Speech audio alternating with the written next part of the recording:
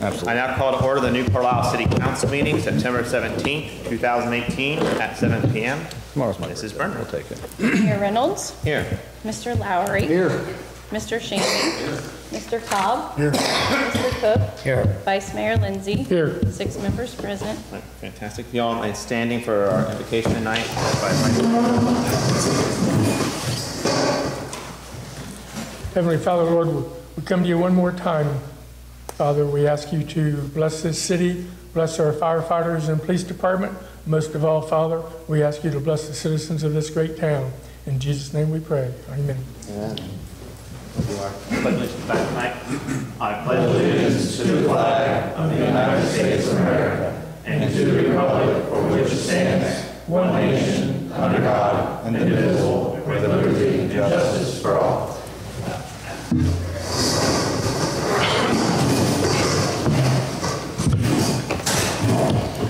Action on the minutes. All yours. For a special meeting, 8/29/18. So moved.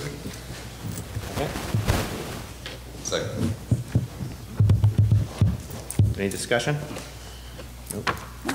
Mr. Cobb, voting on the minutes. Yes. Mr. Cook. Yes.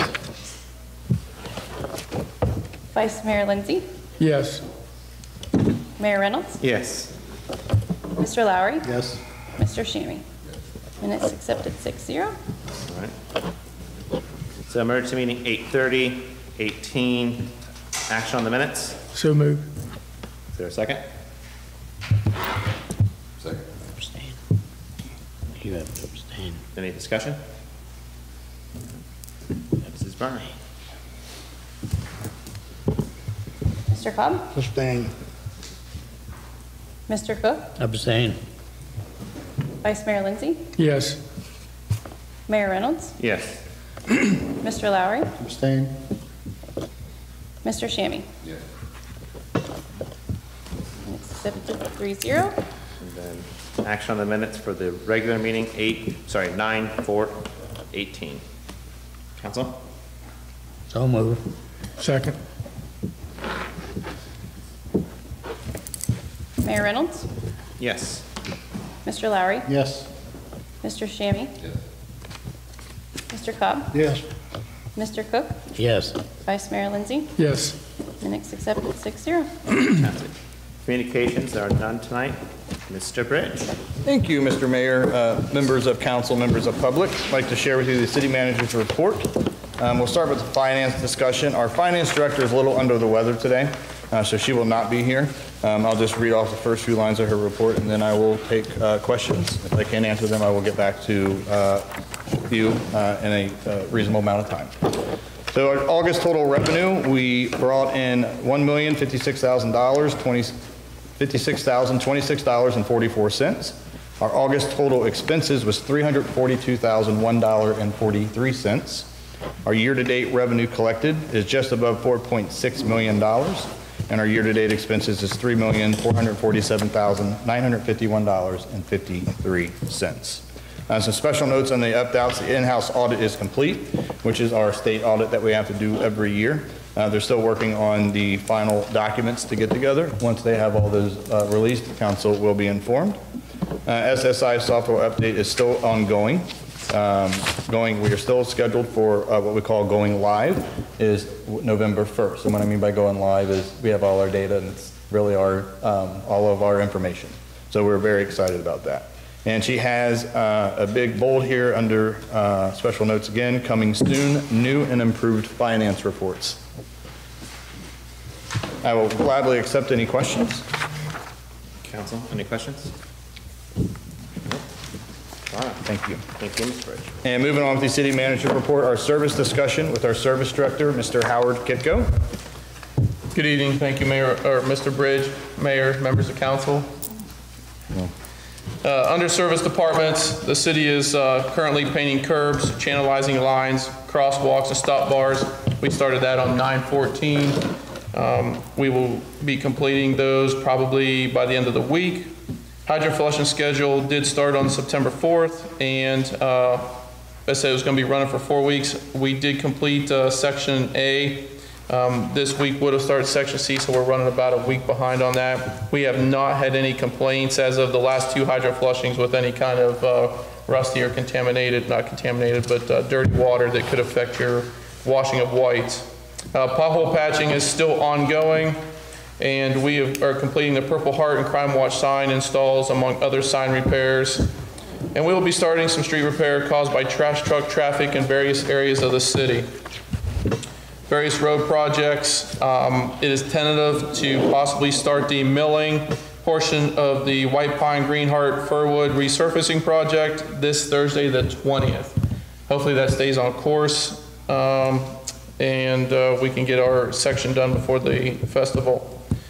The, we are still waiting to hear back on the CDBG funds for the Galewood project. And the wastewater treatment plant, I've had to uh, go back to the financial institutions to rework some numbers um, due to the change that we're going to do on adding a additional pump to that project.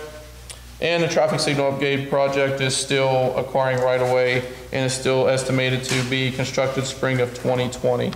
And that is all I have in my report, and I can entertain any questions on that or anything else with the service departments in the city. Council, anything? Mr. Hammond? Uh, Mr. Kitko, who pays for those, uh, when we go around and fix those potholes, the trash trucks? Do we? We, we go, Contract? yeah, we, we we take that out of our um, street levy fund to repair those. Uh, It's, it's it's the, re- it just, it's the regular part of the street. It's not any special area, but it's just, uh, up on Tauschroyer Hill, we got one over on Washington that we gotta do. They're just ruts I got created. two on each side of my house, on, on Scott Street. Yeah. All right, thank you. You mind if I add to that? Mr. Bridge. We had a franchise fee put into the previous contract we had, um, and it generated about 70,000 a year for repairs that were done by the track trucks. Uh, But it's, we no longer have a franchise fee in there, so we have to take it out of that fund. Council, anything else? Mr. Cook, you had something? Where do we stand with the cemetery? Uh, You'd have to be more specific on the cemetery. How about the mowing, the weed eating? Uh, Be, about, what about the mowing, what about the weed eating? Well, it seems like there've been quite a few complaints in regards to the uh, weeds between the headstones, and I personally was down there over the weekend. It Looked like most of the mowing was done. There was a considerable amount of weed eating to be done. And I know you can't pull extra help off the street department because we need them for the potholes, patching, etc. I was there on Friday, and as you were right, almost the whole cemetery was mowed except for one section. And there was only about one and a half sections that were not weed eated um, when I was down there on Friday. We usually mow at least half the cemetery one week, and then the other half of the- of the cemetery the next week with the two people that we got. And then we'll try to get uh, at least three or four weed eatings in during a season. That's usually the minimum. Um, But that's usually about, about max that we can uh, get fit into weed eat the cemetery. The, the biggest issue with the cemetery is the seventy-five percent of the cemetery was platted, um, with stones or not organized, as everybody's aware. Um, that takes us, and we do have commercial mowers, we have commercial weed eaters, we, and we usually get the, uh, pride workers, especially during holidays, uh, to help us catch up on the weed eating. Um, So other than um, getting additional help down there to mow and weed eat, yeah, that's about the only thing that would correct. Trying to make it where maybe it's a weekly cemetery looks, you know, immaculate as compared to keeping it just good.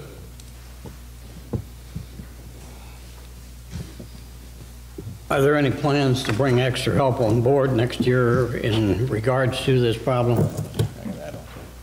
Uh, With the work session, we had discussed um, adding a third person into that cemetery, and then maybe looking at how we man the cemetery as far as who's strategically placed down there.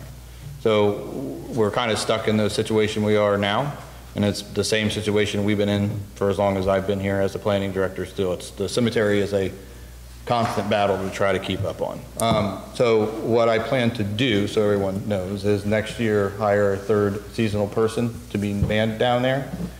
But that's the only way we're going to keep up on it. I mean, we're not reducing the amount of area that we have to maintain So we can't cut corners by not increasing the manpower down there, if that makes sense.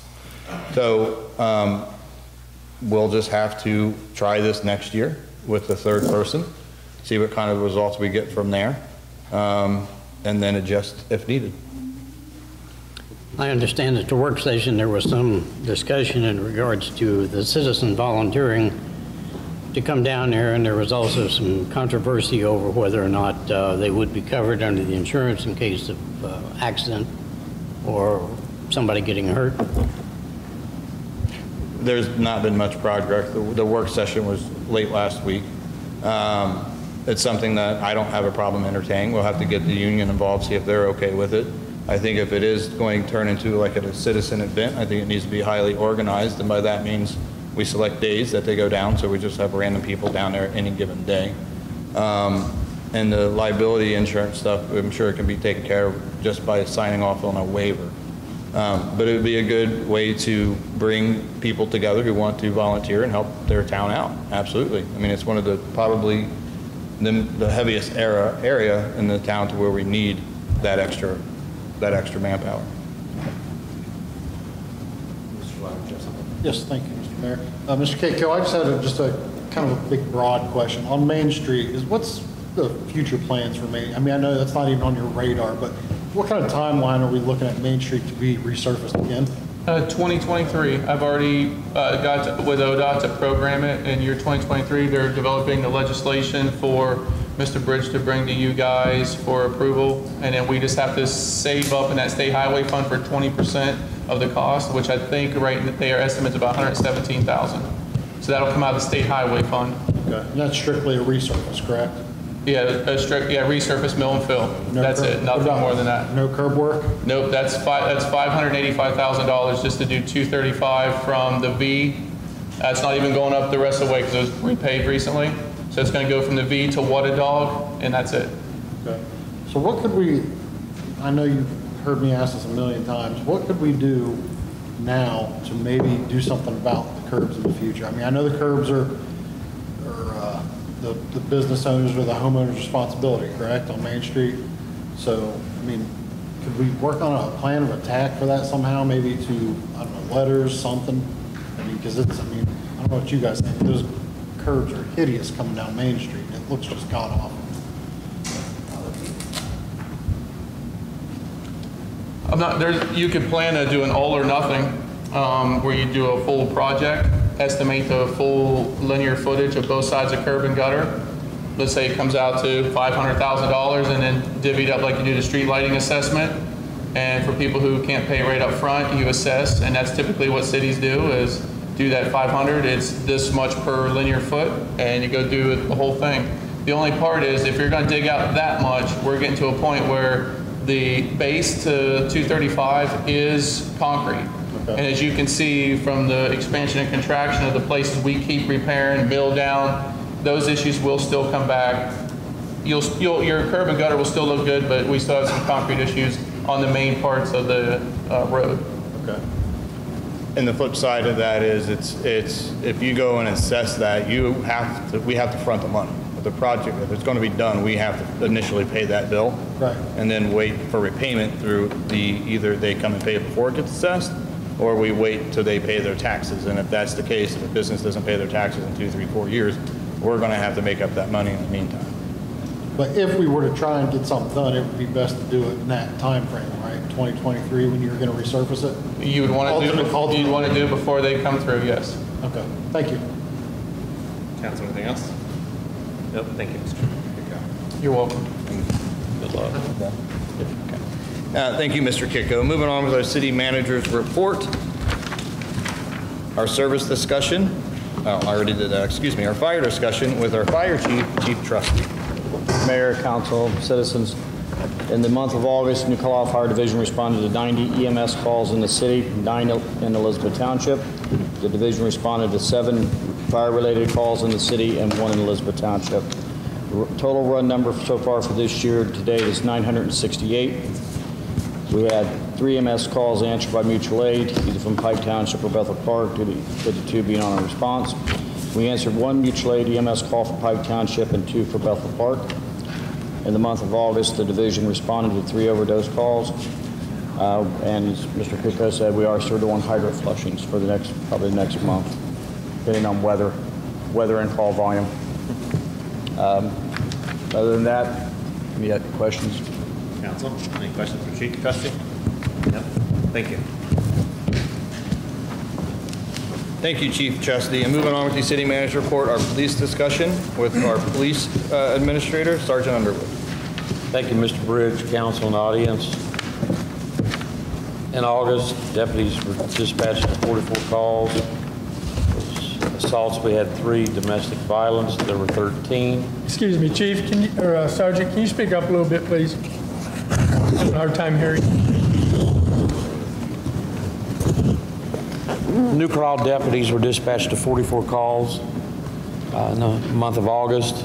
Assaults, we had three. Domestic violence, there were 13. Theft, three. Non-injury crash, two. Injury crash, your New Carlisle deputies did not have any. Citations, eight. Drug complaint, that should be zero.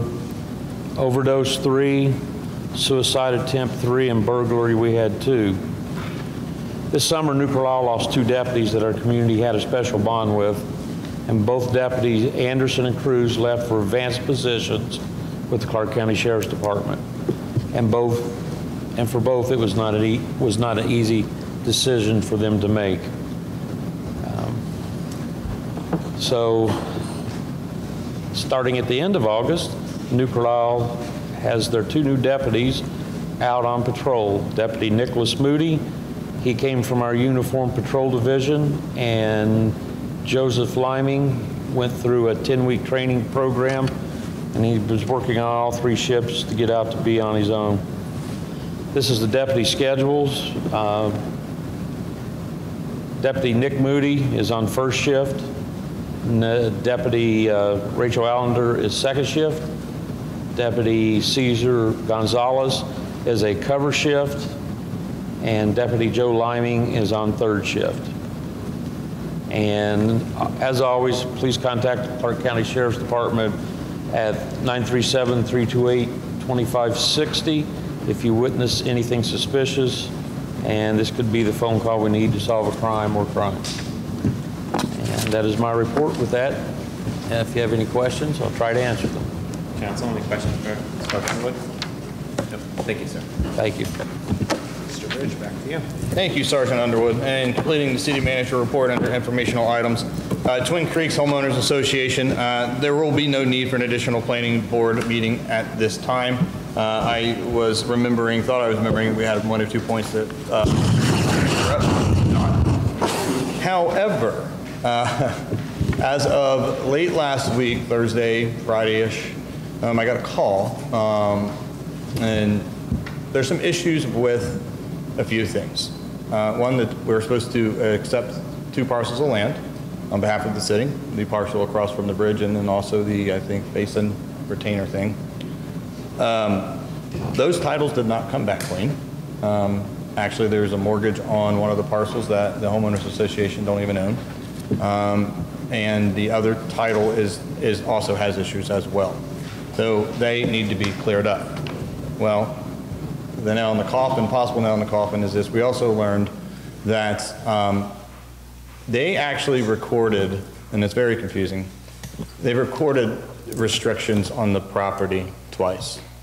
Uh, When it was first um, thought out, when it was first developed, um, the initial development phases as far as the lot numbers and the size of the houses and setbacks. Um, And then the homeowners association, when they formed, they went in and added there what they wanted to add in, like the mailboxes and the bushes and the siding has to match. And also some additional restrictions on the lots, and then recorded that as well. So what we have now is two legal binding documents that dictate how that land is supposed to be developed. So regardless if our planning board says, yes, this is how we want your house built, or this is how far we want you set back, it doesn't matter, because the recorded instruments take precedence. So what needs to happen is, they need to get majority vote of the current homeowners association, and majority vote of the first time it was recorded, to dissolve both of those. If that doesn't happen, there is no point for us to continue on with this endeavor. And I say that because of this. The homeowners association, they go and they vote to dissolve. Okay, so they're off, they're off, they're off the table. But we still have the issue of the first recording being done. That still trumps new Carlisle zoning code. So, if they cannot dissolve or eradicate the first recording instrument, there is no sense for us to incorporate anything into our zoning code and let the existing plat restrictions proceed. We will still have our, have our hands in issuing the zoning permit, i.e. Ms. Hoffman, you want to build a house up there, you come to me and say, here's my plot plan, I want to be this far back from the rear uh, lot line, this far away from the side lot line. We'll still regulate that, but we would not regulate, and we still, like we don't regulate now, you got to have matching siding from your shed to your house. So our attorneys on both parties are trying to figure this out. Um, What I have told our attorney is, I'm not, I don't feel as though the city should have to foot the bill to correct this. Um, Especially, I don't want to foot the bill if we know, know for sure both parties can't dissolve what they need to dissolve, because at that point in time, it's a, it's a, it's a worthless effort. So as more information is given to me, I will update everyone, but that's just where we are currently with the Twin Creeks uh, HOA. Any questions on that before I go on to the next, because it's kind of a lot? No. Good, okay. Um, play- Playground equipment installation, um, when I wrote, as I was writing this on last week, uh, the uh, pour-in-place was being constructed, and that is the stuff the kids would stand on. I just went up there and actually got on it. You do sink. It is very soft. Um, So that, that is underway. Uh, It did need a 48-hour cure time, which I'm assuming went over the weekend. Um, We still need to have a ribbon cutting ceremony for grant requirement, so as soon as that is uh, scheduled with L from the county, I will let everyone know, and maybe we can all show up and open that new playground equipment officially to our, uh, to our kids. 2019-2023 CIP, legal ad was placed in the New Carlisle News for 9/19 print date. Uh, We need to give time for public inspection. Um, So that CIP will be on display at the city building um, until uh, the council votes on the resolution in the first meeting in October. Madison Street School, I'm currently working on asbestos uh, removal quotes. I did get a quote back for the asbestos survey. We have to start with the survey first. Um, And that cost was around maybe 2,000 or $3,000 for that. And then um, still waiting on the second quote back. Um, So as soon as I have more detailed information on that, I will let everyone know. The reason I'm doing this is because if any point in time we want to give that school away for someone else to tear down, or we retain it, tear it down ourselves, we need to have an asbestos report done before we take anything out. Um, I did speak with one of the guys last week briefly. Um, All he told me to be worried about is if they pull a sample on that school, and since it's been vacant and unused for such a long time, if they would pull a sample from the ceiling and it had more than 1% of asbestos in it, we now have to treat that entire school as being contaminated opposed to just individual things. So um, I don't know what's going to come of that, and I don't know, I can't sit there and say, I think it's going to be this much or this much to remove all the asbestos, but we do need to do our due diligence and have an updated current outlook of what exactly is in the school. Union negotiations currently underway. We had our first meeting this afternoon. Um, It says here on the city manager report that the next meeting is actually Thursday, September 20th. That was actually rescheduled today uh, due to a family emergency with uh, someone else in- uh, that was involved in negotiations. Um, So we did push that back actually to October 2nd. And I chose October 2nd because it give me one more council meeting to have executive session with council if needed. And that is all I have for the city manager report. I'd be happy to uh, entertain any questions. Any questions, council? Nope, thank you. Thank you. All right. Moving along, we now have comments from members of the public. Please limit comments to five minutes or less. Graybar, you mind giving your address and your name?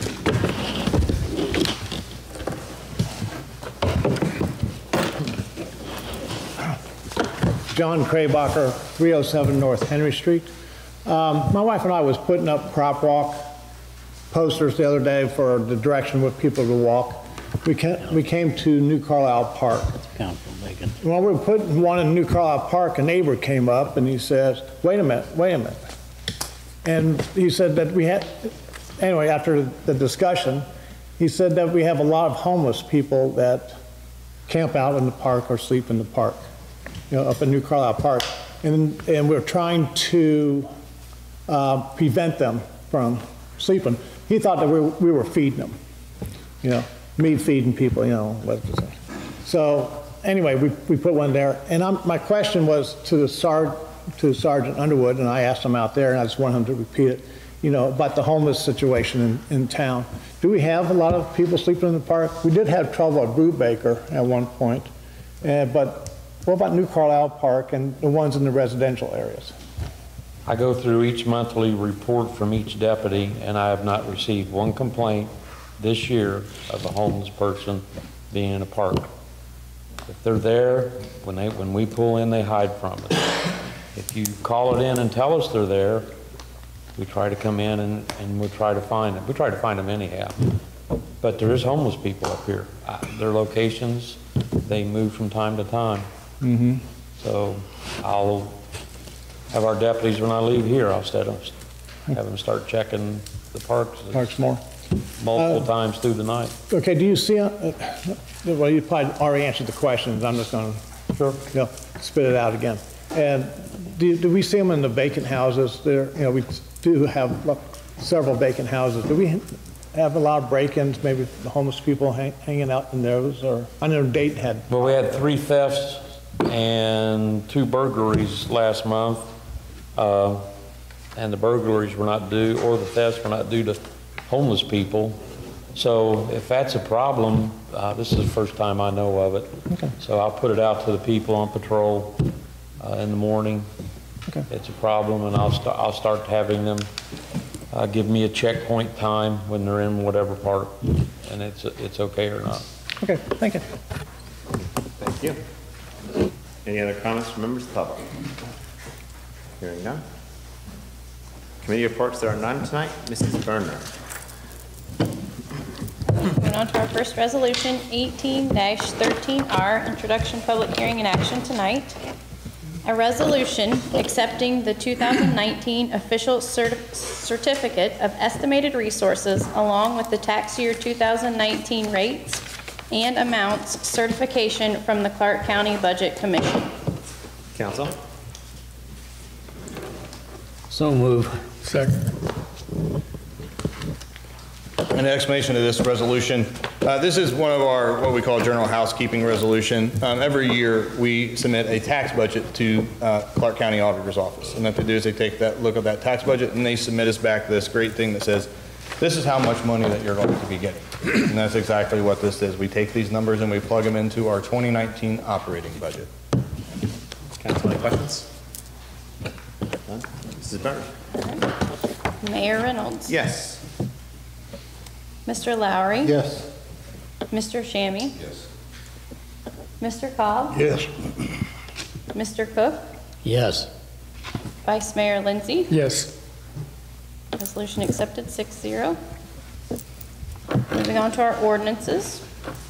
Ordinance 18-23, public hearing and action tonight. And ordinance supplementing certain appropriations in New Carlisle City Ordinance 18-03. Council? Mr. Mayor, Mr. Lindsay?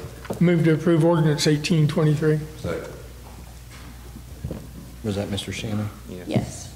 And an explanation of this ordinance, um, we needed to take a look at um, how much money we had left on, that we budgeted out for the year. Um, Some things, we needed to allocate more of our savings, our reserve fund into that. We did experience higher than normal um, law director fees for this year. And also, we um, uh, undershot our income tax collection fees by about $30,000, but that's a good thing, because they, the fees are based on how much they collect. And when I initially introduced this ordinance, I had a, um, put a report together for council, and I say that we're about 220 or 230,000 up from this time last year on the income tax collections. And then the other thing of the state highway fund, even though this traffic signal is 100% free to the city of New Carlisle, we do have to issue checks for that, um, but we will get reimbursed on those checks. Council, any questions?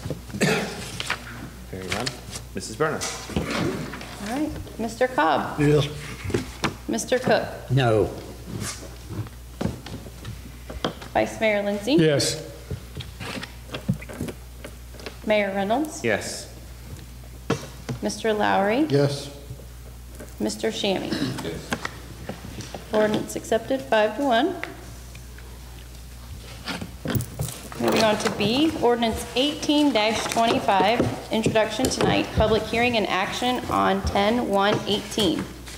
An ordinance amending chapter two forty-six, employees generally, chapter two forty, citizens participation plan, chapter six twenty-eight, fair housing and employment, chapter six thirty-six, offenses relating to persons, and Chapter 812, Cable Communications Systems of the Code of Ordinances of the City of New Carlisle to adopt comprehensive non-discrimination provisions for the City of New Carlisle. Mrs. Berner, would you like to read on? Other business. Congressman Warren Davidson will hold his mobile office hours at the city building on the fourth Tuesday of each month from 1:30 PM until 2.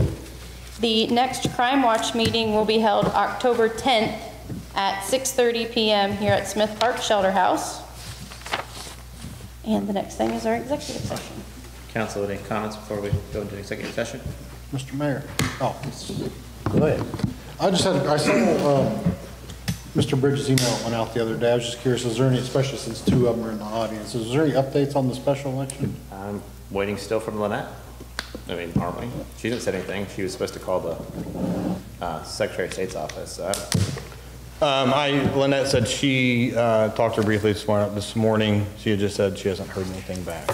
Yeah. so I guess when Lynette, yes, we'll know. Thank you, sir. And Council, Mr. Cook, you had something? No, I was going to ride along on that. All right. Do we have a motion to go into executive session? So moved. Second. Let's see what's. Vice Mayor Lindsay, Yes. Mayor Reynolds, Yes. Lowry, Yes. Mr. Shammy, Yes. Mr. Cobb, Yes. Mr. Cook, Yes. accepted six zero. All right, We're going to go into a short five-minute recess, and then we'll come back for executive was the first? Vice Mayor. Oh, we're going into executive session to discuss collective bargaining matters. And no business should be discussed afterwards. Um, actually, there may. There may be. Yeah, because if we go into executive session, we can't vote. Yeah. So if we have changes that council wants to do to the negotiations, we'll have to go back into regular session to vote on that. Okay, so then there will be. I- That's my understanding, and please correct me if I'm wrong. I, this is our first time actually doing. So we can't bargaining vote, yeah, we- negotiations. we can't vote in In the last seven years, it's normally this is what you get, you vote on it and that's that. We're actually going to negotiations, so yeah, I think it's, uh, I think that we probably should just cover ourselves and there could be potential uh, discussions after this and then we'll go into executive session, then after that, we'll check out and see if anyone's outside. Sounds good. All right. So we have a five-minute recess. Mr. Mayor. Mr. Lowry. Make a motion to return to regular session. Second. All right. Mr. Bridge.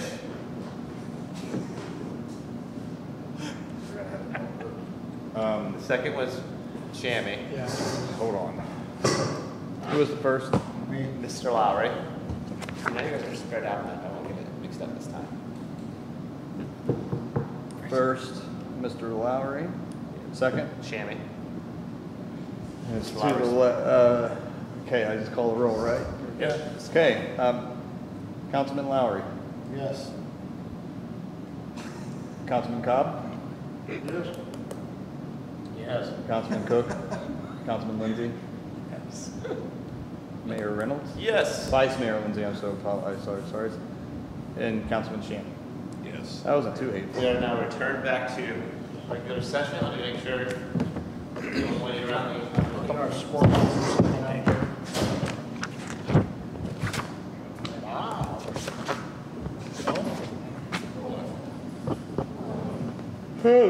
Those walls are thin, I'm sure she heard it all. Yeah. All right. Mr. Lowry. I had a few things I wanted to go over. Okay. Let's make a motion, we adjourn. We are adjourned.